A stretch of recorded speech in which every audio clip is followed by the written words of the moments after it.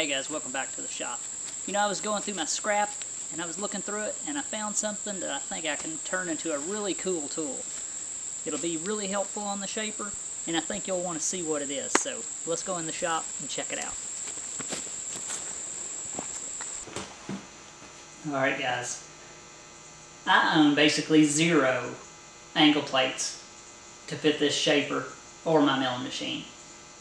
I had this in my scrap pile and I got to looking at it and I was like, man, that would make a, a good, you know, angle plate if it was, you know, properly machined and whatnot. So I got it out and started looking at it. And it's more than robust enough to hold, you know, the, you know, just average cutting force. And, I, you know, I decided, you know, what am I going to do with the bore there? So I found this big slug of stainless in my scrap also. And what I'm going to do is machine you know, some an array of bolt holes into this slug. And then I'm going to machine this face and bore and foot where this slug stainless will slide into this bore and clamp. That way I can bolt my work to the face of this and I can also index it if I want. In the future, I'll come in and I'll scribe, use my rotary table on the shaper and scribe some index lines on the back of this. That way I can accurately index this piece and I can, you know, rotate my work 360 degrees. You know, I don't know how useful that'll be, but, uh, and I've never seen one before, but uh, that uh, that's definitely never stopped me. So it doesn't hurt to have options anyway. So that's the plan. I'm going to machine this true, bore the face and the foot. I'm going to machine this piece to where it fits inside this bore and this top will clamp, clamp it tight. I'll machine some uh, array of bolt holes in the face of this. That way I can clamp my work to it. And then I'll scribe lines with my rotary table on the shaper so I can accurately index it. That's the plan. But in order for this bracket to clamp onto this, I have to space this off a little bit before I machine it. That way I have a little room for this to squeeze and clamp. So I have to make shims. And the way that I make shims, or you know, as long as it's uh, I have the you know the accurate face to, to do this, I use the dirty finger method. Take a piece of paper, lay it on the surface that I want to replicate, rub my dirty fingers around on it, cut that out, take it over to the saw, you know, the stock or the shim, and then you get some shims. And I've already done that off camera. Made my two shims. These are 50 thousandths of an inch thick. And I'm going to put these on here. Then when I bolt the top down, and I machine this guy, I can take those shims out and bolt my piece in and it'll clamp. That's the plan anyway, and that's subject to change. My order of operations, I think, are going to be machine this face, machine the bore, and then come over and do the foot with the shaper. So I'm going to get this thing in the lathe and I'll get you a better angle. Alright guys, I've got this piece in the four-jaw and you're looking down on it. Well, all we need to do is true this face and true the bore.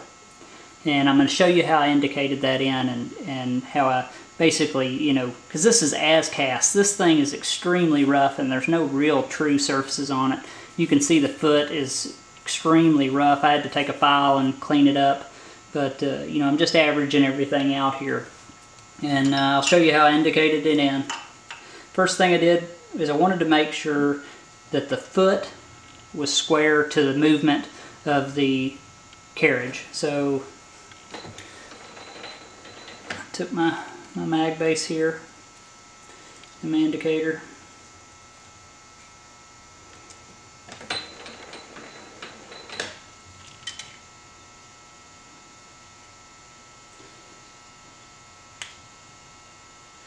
and I zeroed it. And now I move my carriage back and forth. And I'm within a couple thousandths square to the movement of the carriage. Then I took it and rotated it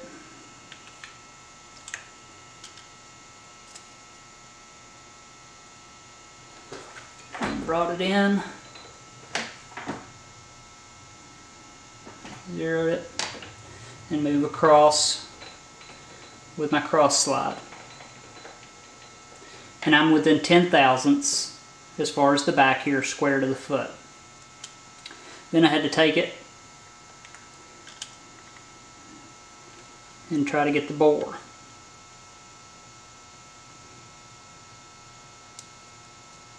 And you're not going to be able to really see this one, but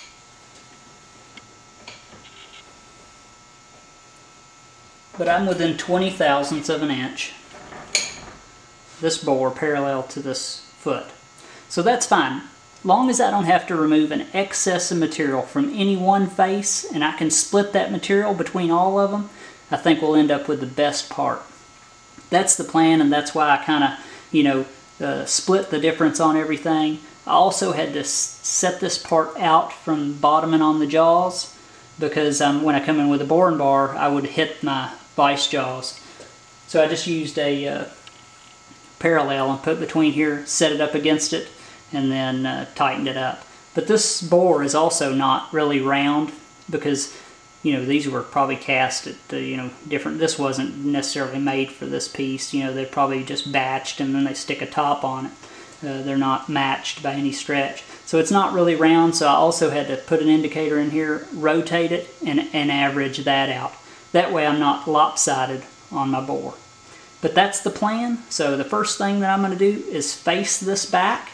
Then I'm going to come in with a boring bar. So let me get all set up for that and I'll bring you back when we're ready. Alright guys, we're about ready.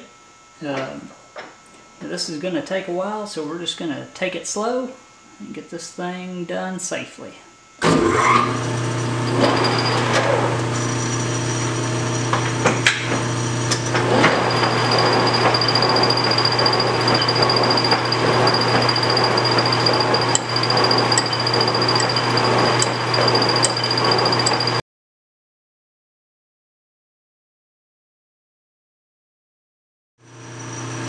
Alright had to switch to a to a carbide because uh, and it's not great carbide on interrupted cut like this because it was just chewing that high-speed steel up. And uh, ideally we would set this up on a big milling machine and use a shell mill and just come across it with a few swipes and be done. But unfortunately that's not an option with us. So we're gonna have to uh, you know face this you know uh, like this. And I would really like to cover up, you know, the surfaces because I don't want this cast iron dust everywhere. But I'm kind of afraid it would get tangled up in this big piece because there's not a lot of clearance here.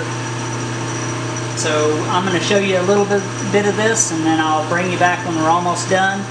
And, uh, and then we'll move on to the next step, which is boring.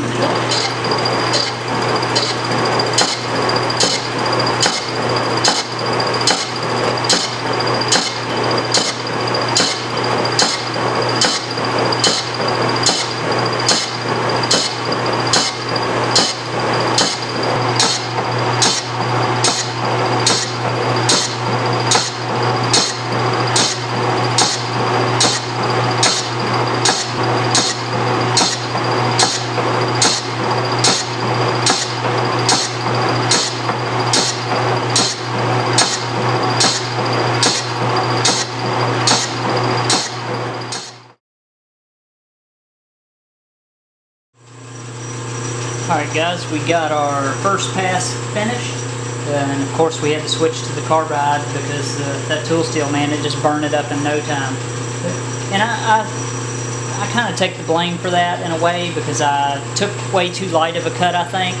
And I had the cutter ground with some uh, uh, side rake and a little, uh, you know, I had it ground a little weak. I'll just say that and uh, also I didn't take a deep enough cut to get below the roughness you know. And this cast is tough. Everybody knows that. So we switched to carbide and we got a really nice finish here. We just got a couple low spots that I really would like to get out of it and I ran a dial indicator over them and it looks like it's at least 20 thousandths deep uh, to get this out. I'm going to take 20 thousandths and if that doesn't clean it up completely then I'm just going to call it good. So I'm going to bring this in here and uh, get it started.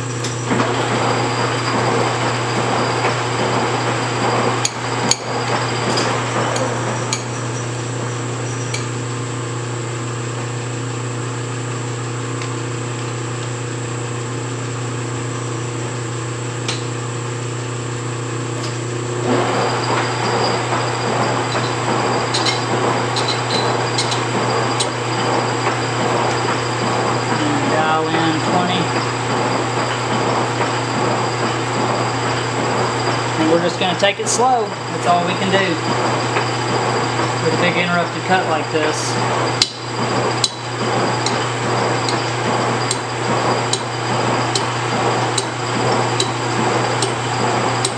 And I'll bring you back when we're done. Alright guys, I believe that we're ready to go. Uh, I've got my bar in here, which is just a homemade bar with a broken carbide end mill that I've sharpened. And we skipped the high-speed steel. I haven't even tried it on this bore. It didn't work well on the back, uh, at least not for me. So I'm skipping the, the high-speed steel altogether for the boring operation. So I hope this works. Uh, we're going to try it anyway. So let's get started.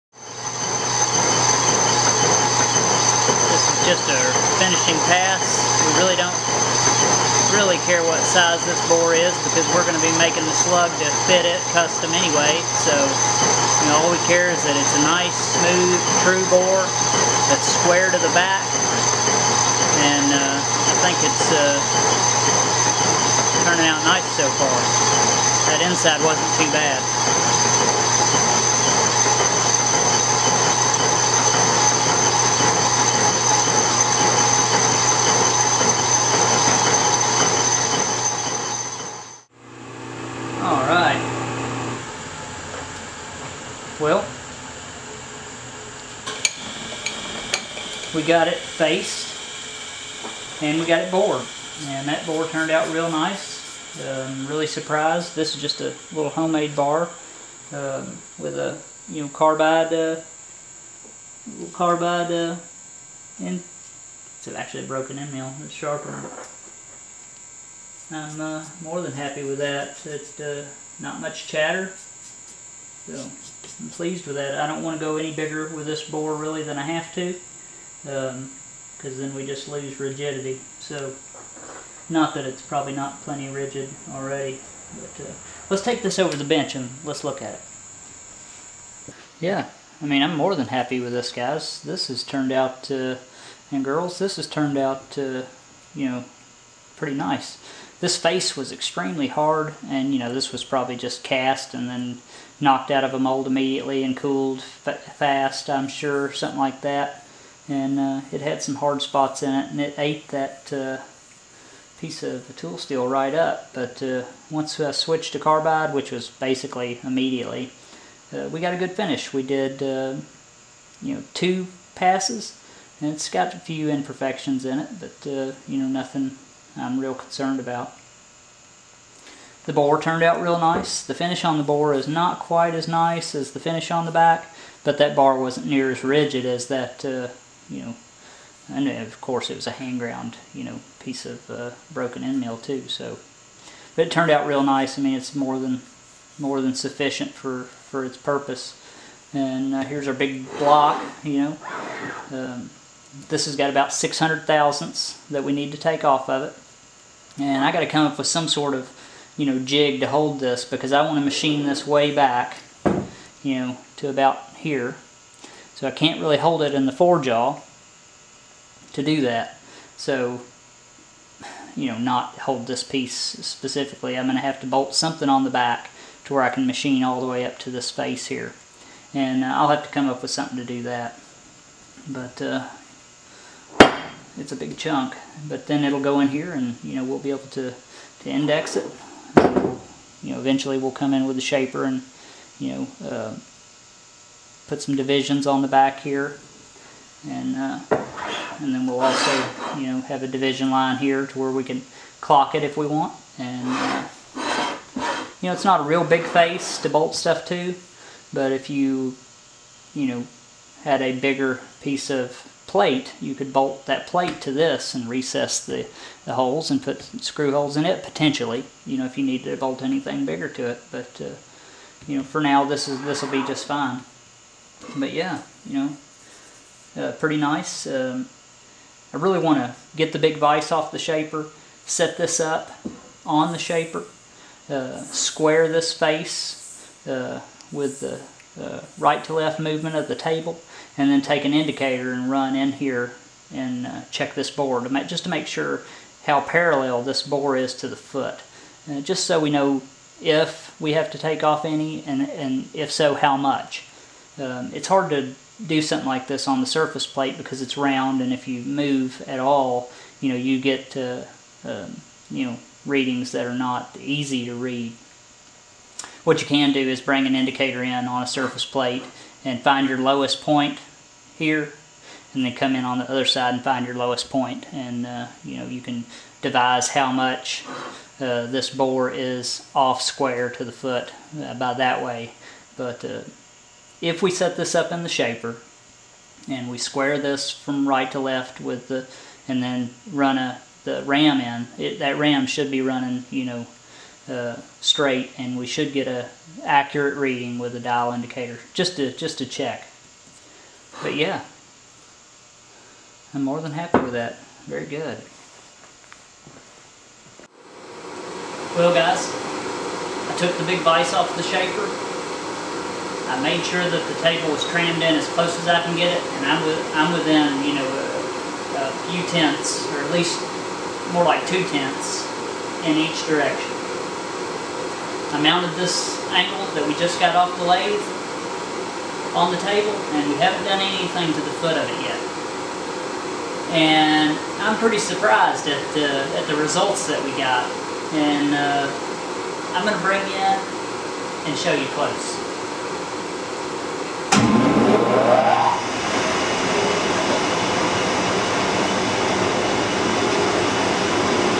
To go little hand here so.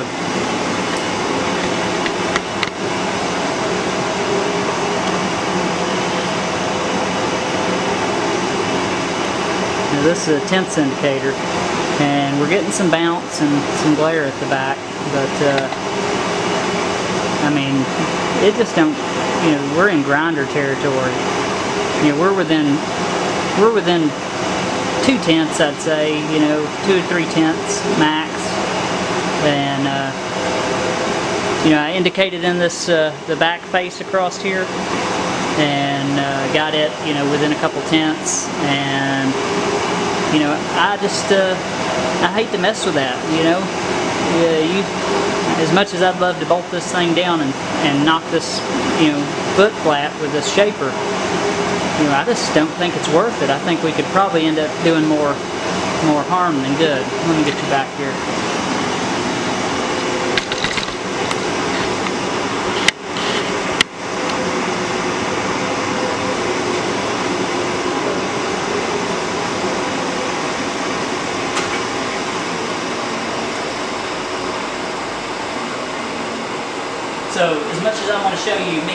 Foot, you know, I don't want to mess up a good thing because it'd be easy to do. And, you know, the foot's a little rough on it, but I don't know any old angle plates that ain't just standard fly cut, so I'm not too concerned about it.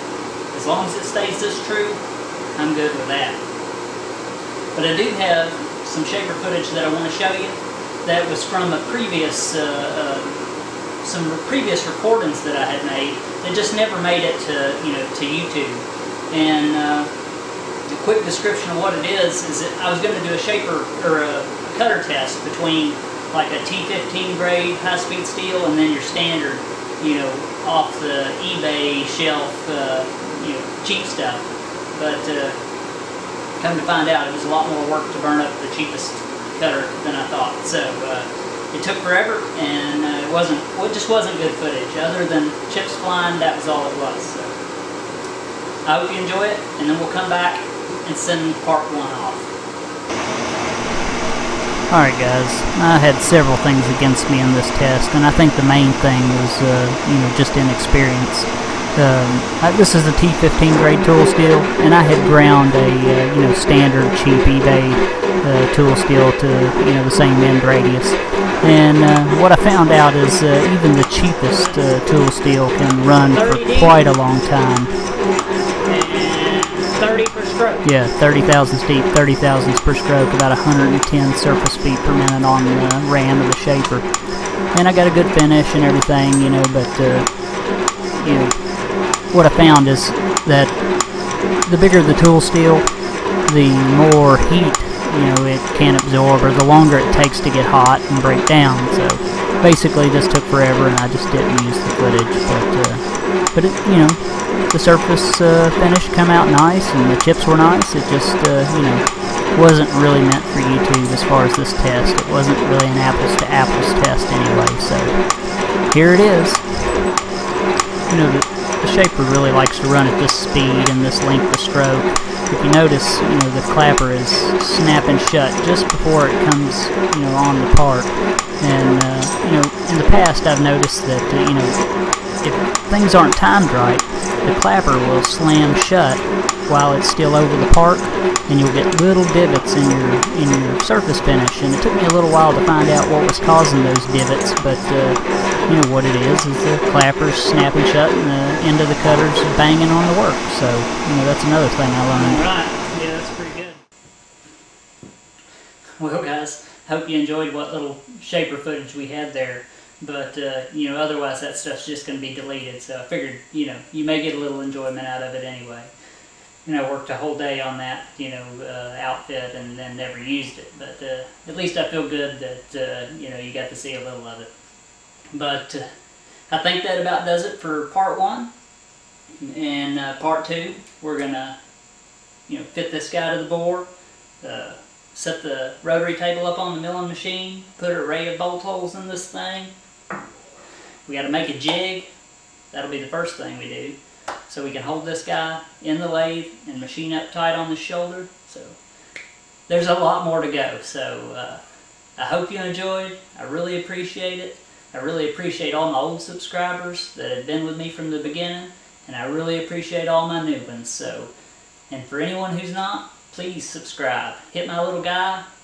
Click on the bell up in the corner to you know, be notified of any of the new videos because part two will be coming soon. And I'll see you next time. Thanks for watching.